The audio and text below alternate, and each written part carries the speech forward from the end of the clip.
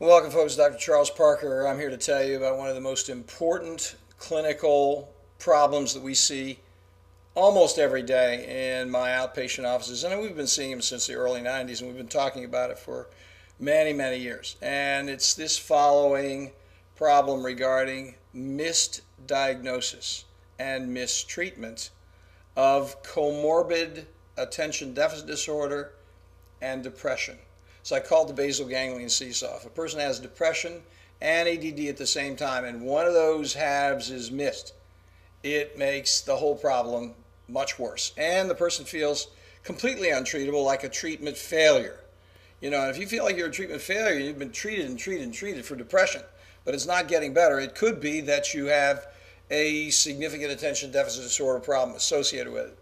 So, how does the uh, seesaw work? Well, it's really simple. On this side of the equation, the seesaw is a balance, like a regular seesaw, and you got attention deficit disorder on this side and depression on this side. Okay, so attention deficit disorder has uh, people have a problem with dopamine deficiency. I'm oversimplifying it, but let's just call it a dopamine, relative dopamine deficiency, and we're going to treat that dopamine deficiency with a dopamine, a dopaminergic medication, something that's going to affect the dopamine function on that side of the equation. And a person who has depression, many forms of depression, predominantly serotonergically related. So you're going to use a serotonin medication for depression. Now, if you miss one of those halves, here's what happens. So assume that a person has both problems going on, but one half of it's not recognized. So what happens is a smart pediatrician comes in and sees this child with attention deficit disorder, treats the dopamine side of the equation and pulls that dopamine up appropriately. What happens to the serotonin?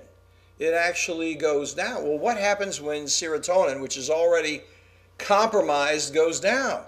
Well, the child feels like they're completely depressed. They crash very hard in the afternoon, vigorously and what happens then, the individual, most of the time the physician will try to change the dopamine product repeatedly and, and miss this side of the equation.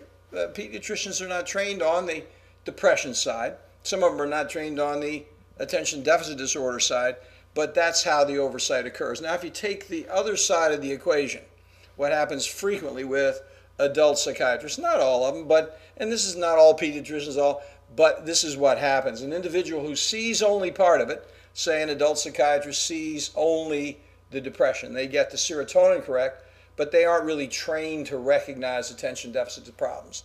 In fact, many of them just don't believe in attention deficit disorder, which is a whole other thing.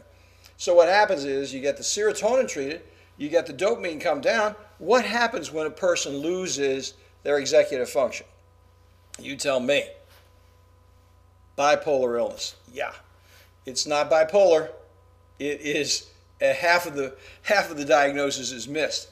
You can't treat a serotonergically related problem, a depression, with a dopamine, nor can you treat a dopamine problem with serotonin. Serotonin doesn't treat a dopamine problem.